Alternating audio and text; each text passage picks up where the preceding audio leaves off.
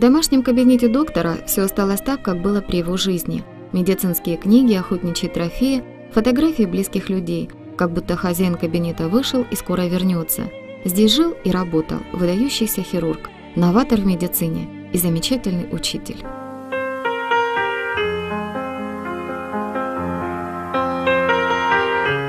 Николай Земсков родился в 1919 году в Клину. Позже семья переехала жить в Москву.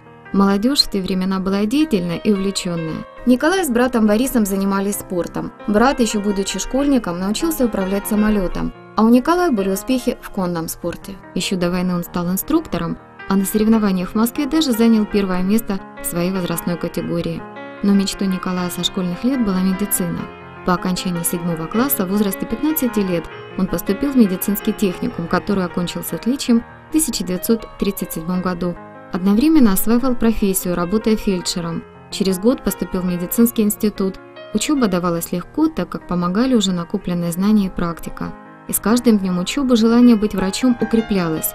По окончании третьего курса 21 июня 1941 года за день до начала войны Николай Земсков написал заявление с просьбой о переводе на военный факультет – который также окончил с отличием.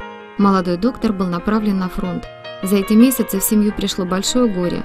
На фронте погиб младший брат Борис. А Николаю было суждено воевать до победы. Он был под Сталинградом, прошел Украину и освобождал страны Европы. После демобилизации Николай Земсков хотел продолжить практическую деятельность. Он работал главным врачом хирургической больницы в Минусинске, Потом была работа в Киевской поликлинике, затем должность ассистента на кафедру хирургии мединститута. Со временем Николай Николаевич стал начальником учебной части, доцентом кафедры. В Киеве он защитил кандидатскую диссертацию, но было желание идти дальше, расти и в научной, и практической деятельности. Доктор интересовался новыми методами проведения операций, а пока над ним давлело руководство, он не мог самостоятельно принимать решения. Николай Семсков обратился в Министерство здравоохранения по поводу другого места работы – Ему было предложено место заведующего в создающейся кафедре госпитальной хирургии Луганского медицинского института. Доктор Семсков дал согласие и стал луганчанином. Клинической базой кафедры хирургии поначалу была больница номер 6, при ней хирургическое отделение.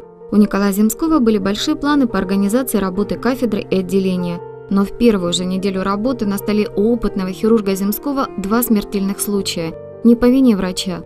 Один больной страдал онкологией, вторая смерть была от передозировки наркоза, которая тоже случилась не по вине хирурга. Несмотря на это, больные отказывались оперироваться у Земского. Николай Николаевич долго и болезненно переживал этот период, но не было и мысли оставить начатое дело. Желания уехать и бросить не было, потому что он знал свои возможности, он понимал, что, что это случайность, вот такое э, ну, стечение обстоятельств, которое все-таки нужно перебороть и идти дальше э, к своей цели.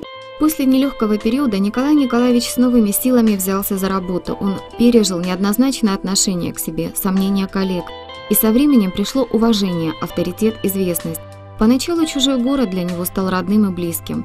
Он продолжал учиться и учить, Доктор Земсков чувствовал в себе силы пробовать новые операции. С нуля он создал кафедру хирургии, воспитал много талантливых хирургов. Он осваивал все новое, все новые операции, сложные операции. И не только осваивал, но и учил делать сотрудникам. Сотрудники все делали те операции, которыми он владел.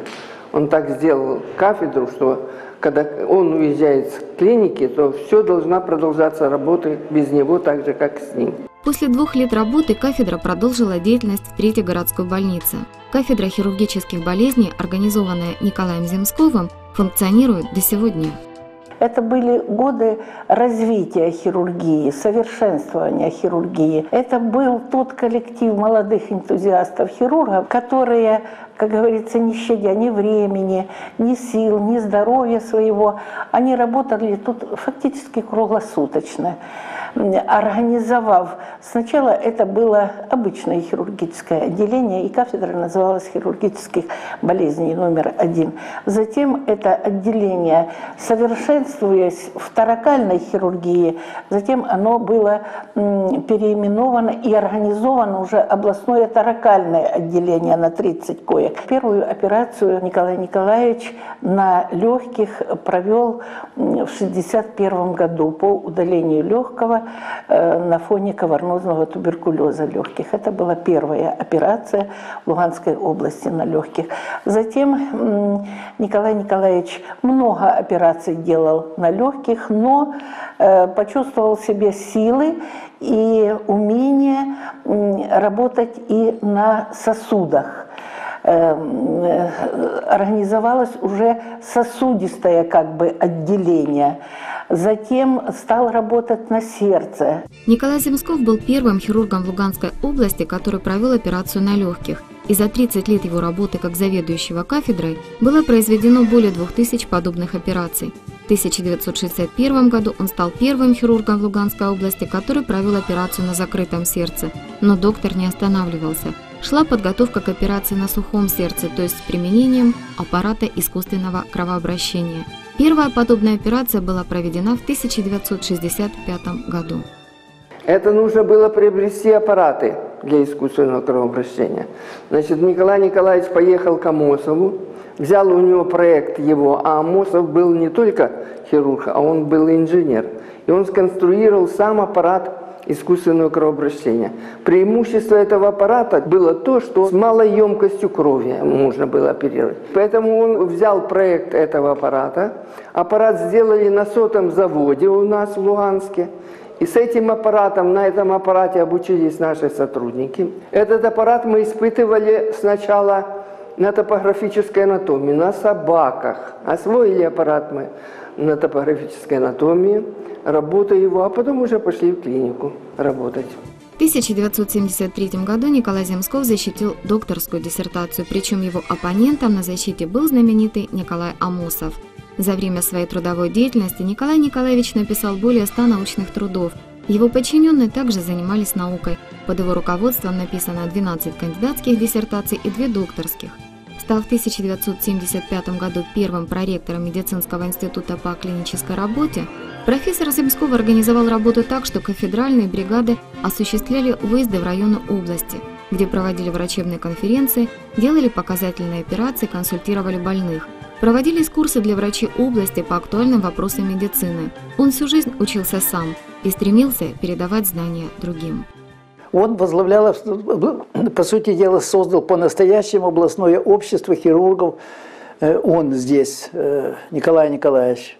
И оно было очень-очень, как вам сказать, современным тогда, потому что рассматривались вопросы новые, с которыми знакомили хирургов всех э, районов, городов, с новыми достижениями хирургии на примере, опять же, той клиники профессора Земского.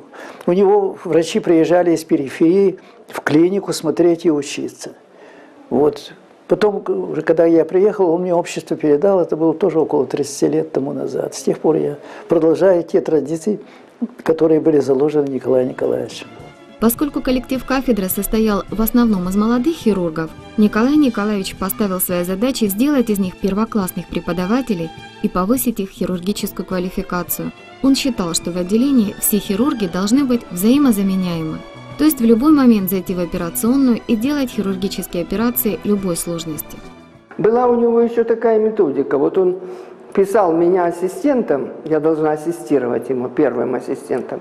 А когда приходила, приходил и начинался операционный день, он мне говорит, иди, оперируй. Значит, я, будучи ассистентом, я должна была готови, а, готова воспроизвести эту операцию. И вот так уже каждый знал такую ситуацию, и поэтому готовился. Если он ассистирует ему, то в любой вариант он направлял тебя и оперировал. Но только тебя операционную не покидал. Как учитель он был, ну я вам должна сказать, я уже пережила 11 профессоров. Но так как учил он, никто не учил. Николай Николаевич считал себя счастливым человеком. У него была любимая работа и крепкий тыл, его семья. Со своей женой Аллой Владимировной он прожил 45 лет. Она была для него любимым человеком, помощником и верным другом. Без любви и уважения такого не сделаешь. Конечно, уважение было огромное, взаимное. Вот. И любовь, когда любишь, тебе хочется сделать любимому человеку комфорт. Что он мне, что я ему. Но действительно я понимала и взяла детей на себя, и, семью, и дом, и детей на себя. Дети Николая Земского, Володя и Ольга, с детства знали, что у папы ответственная работа. Они видели, каким уставшим он приходил домой. Но свободное время они проводили все вместе, всей семьей. Николай Николаевич, умевший писать монографии, научные статьи и труды, свой литературный талант применял и к детям и сочинял для них сказки, где главными героями были мальчик Володя и девочка Оля. У нас папа был только по выходным, и то, если в клинике было все хорошо. Тогда работали по шестидневке, естественно, один выходной день, воскресенье. Папа очень любил и меня, и брата, но работа была на первом месте, так что мы папу э, в детстве, во всяком случае, видели довольно редко. В кабинете доктора Земского много охотничьих трофеев. Его любимым хобби была охота с детства. И даже во время войны, если выпадала свободная минутка, он охотился. Вторым увлечением Николая Николаевича была машина. Во время отпуска вся семья и любимая собака Тим устраивались в машине и уезжали за тысячи километров. И он научил нас слушать тишину. Вот мы приезжали в лес, и сейчас многие приезжают э, там на природу выезжают и включают ну, магнитофон или музыку какую-то громко включают. Мы же ехали, мы слушали тишину. Папа научил нас понимать природу, относиться к ней не потребительски. В 60-е годы Николай Земсков приехал в Луганск никому неизвестным здесь хирургом, а своей деятельностью, отношением к людям завоевал авторитет и уважение. Он прошел тернистый, трудный путь.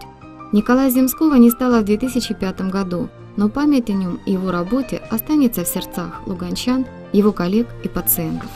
Заслуга профессора Земского для хирургии Луганской области, ее очень трудно поместить в какую-то одну фразу, потому что он, хирург, был разносторонний, он был человек нового, человек поиска и очень доброжелательно относился к людям. Развивал всесторонне такие и продолжающиеся развиваться благодаря ему в Луганской области направления, как хирургия сосудов, хирургия сердца, хирургия пищевода, хирургия желудка. Это, так сказать, основные направления. А полный перечень хирургии перечислить невозможно. То, что заложил Земсков, продолжается. В частности, в отделении сосудистой хирургии, отделении сердечной хирургии в областной больнице. Они работают на самом современном уровне. И ученики возглавляют и отделение и в областной больнице, и в девятой, в восьмой больнице нынешней больницы, бывшей девятой всесторонне. Все операции, которые выполняются в Киеве, Москве, выполняются и у нас. Николай Земсков столько раз останавливал чужую смерть, но настал момент и пришло его время уйти. А здесь, на земле, бьются сердца, которые вылечил доктор. Дышат полной грудью и радуются жизни его пациенты, которые помнят своего врача. Врача, который сполна выполнил свою миссию на этой земле.